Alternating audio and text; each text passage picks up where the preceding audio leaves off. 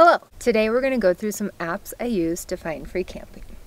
Before we get into the apps that I use to find free camping, we're going to go on a little adventure. Before I go and move the trailer, because uh, one of my biggest fears is to uh, be like on a forest road and I come to a place where it's closed and I can't turn it around. So we're gonna go check out a potential next camp spot and um, before we also move, I wanna make sure that we're as stocked as possible. So I have to run to Walmart. So I have my rubber gloves and I'm gonna use my scarf as a mask. Why don't you come along? We'll go scope out a camp spot.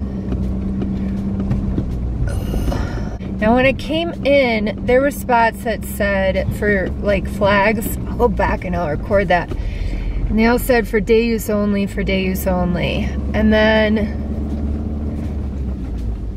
and then uh, I saw a couple spots that were roped off. Again, I gotta go back and record that. And they said uh, that they were for um, restoration, under restoration. Oh, do I see a camper? I just don't want to get kicked out. I don't want to. I don't want to get the trailer all the way back in here, and then um, then I get kicked out. You know. What does that say? No camping. Closed for restoration. No, no vehicles there. No vehicles, even though it's like a perfect turnaround. Uh, since I wasn't very enchanted with the last scouting of the camp spot and our 14 days is up tomorrow. We have to move tomorrow. Uh, I'm gonna go scout this other place. That second spot looks good.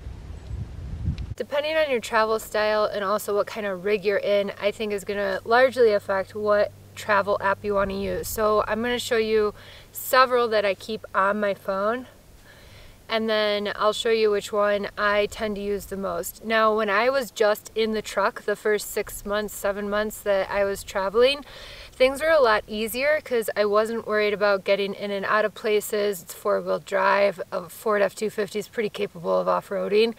Um, and I knew I could get in and out of tight spots. With the addition of the trailer, I have some I hate to say, but limitations. My number one limitation with the trailer is just simply my confidence. Between yesterday and today, I've practiced backing it up a lot, um, and I backed it into this spot, which I was really proud of myself for. I think a monkey could have backed it into the spot, but I was nonetheless very proud of myself. A lot of camp spots I find you're going to need to have the ability to maneuver the trailer gracefully in order, especially now in the forest, to not hit a tree.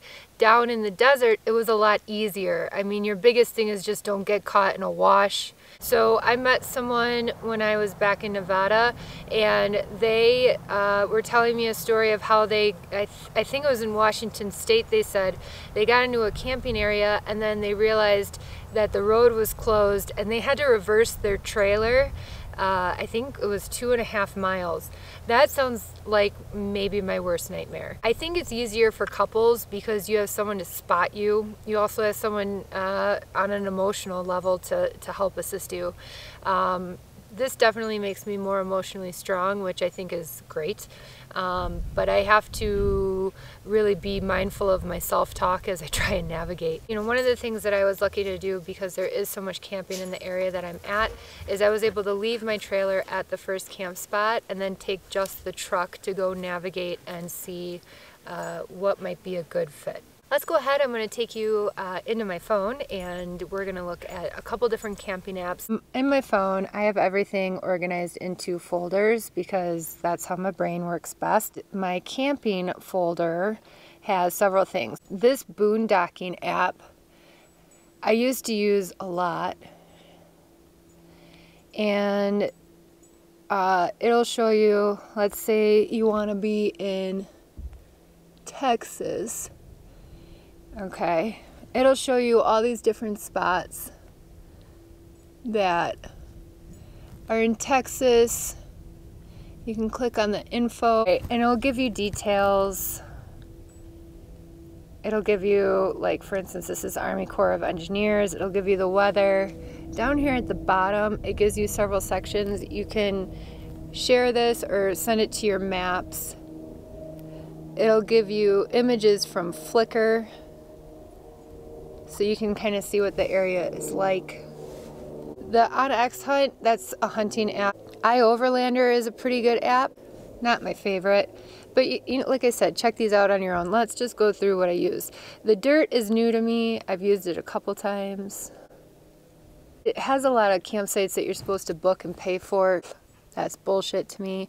Truck Map has been really helpful since I started pulling the trailer because it will take you on routes that are meant for truck so that I don't get uh, myself caught up somewhere that the trailer doesn't pull nicely in. Dark Sky is my favorite weather app. O Ranger, Park Finder, that's more helpful for parks. Trucker Path, that's another, making sure I don't pull the trailer into somewhere I ought not. All Trails is more for hiking. Park Advisor is okay. I don't really love this app, but I do have it. Public Lands is helpful, so you make sure that you know, like sometimes when you're on BLM land or National Forest land, you uh, might be very close to private land, and so this will give you the differential of what uh, like if you're on BLM, U.S. Forest, National Park, National Monuments, Army Corps of Engineers, you see the whole list here, okay? But it makes sure that you're not oopsie on accidentally on uh, private land. Okay, uh, U.S. Forest app, kind of the same thing. This shows you whether you're on uh, U.S. Forest land or BLM land and uh, where potential camp spots, mostly KOAs, which you gotta pay for. So again, not my favorite. RV Parky's okay. Again, you're gonna be looking at things you gotta pay for or maybe an overnight spot. Avenza Maps is good for hiking, so for any hiking places. Gas Buddy is good to find the cheapest gas near you. And then there's freecampsites.net. Now they don't have an app, it's an actual website. I do like freecampsites.net, but I find some limitations with them. The reviews I don't feel like are as thorough. And again, that was fine when I was just in the truck, but now that I'm pulling the trailer, it makes me makes I'm just not confident with uh, my trailer reversing skills. Pulling it forward is fine. It's it's the reversing, and sometimes you get yourself in a tight spot. So it's not a huge limitation. I can think of only maybe a handful of places I used to camp that I ought not be going anymore. But um, my favorite app is Campendium. So this has been my favorite as of late. You can find RV parks, public land, free camping, just overnight parking, dump stations. Um, so let's put in, so you can see Lake Havasu, Arizona, for instance. All right, and then it's gonna pull up all these different spots for you. Now, I only camp for free. So in your search bar, you can hit free, free search. Took away some of the icons. And it left me with all these free camp spots near Lake Havasu City. Now, let's say I just want to click on one and I can go and I can go, okay, it's called this, it's state trust land, zero dollars. What's nice is this is uh, user supported, and so people leave reviews and they can update. Let's say it was closed, people update with how much uh, cell signal they get. Um, they'll tell you whether or not it's like big rig friendly, cell service, hookups, tents okay. It'll give you the website. You can open it in Maps. I usually use Google Maps. Google Maps is more accurate when it comes to directions, uh, but they do take your information and store it. Apple Maps is not as good about accuracy, but part of that is because they don't save or sell your information. So you use your best judgment depending on how paranoid you are. A lot of times what I do is I would, oh I already have actually, I save this, so I save it in a camping folder on my phone so that let's say next time I'm in Lake Havasu City area, if I take out my X, I have that little blue marker left and so that'll stay on my Apple Maps. This is actually all the blue are saved camping spots that's probably a Walmart. Um, Little Heart is somewhere that I loved staying.